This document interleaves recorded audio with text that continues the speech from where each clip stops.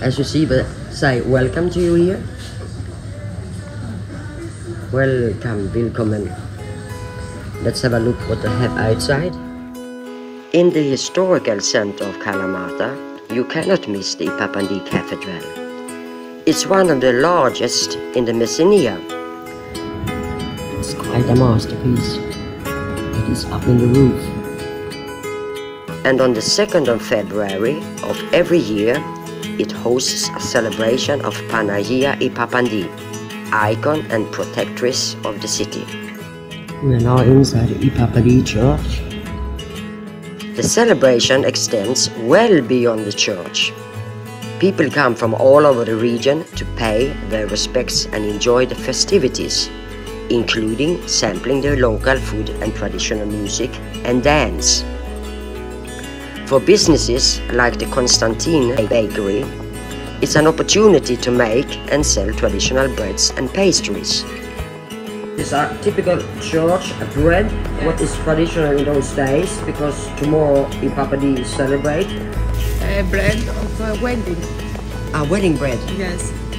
Very nice. Look at this.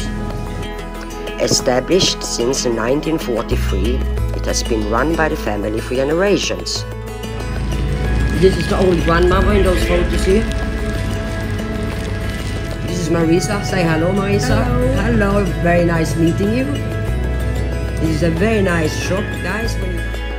During preparations, we also came across the liquid store with a display of local and Greek products. And they are doing only local things. All kind of drinks.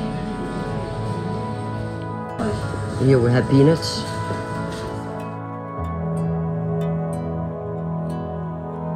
This is something really typical Greek. Pastelli bars of sesame seeds and honey. A snack that has roots that date back to ancient Greece. Solene? Foda-se. Fortis, Yasu Fortis Yeah, Tigranis. tá lá, né? And Fortis, the man who I just talked to, he's the owner of this shop. Very nice.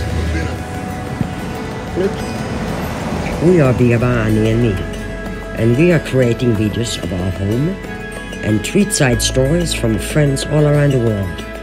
You can find more of our videos by subscribing on YouTube and Facebook. You can also join the adventure by supporting our work on Patreon for behind the scene footage and nice little rewards. You want and you too? Okay, here we go.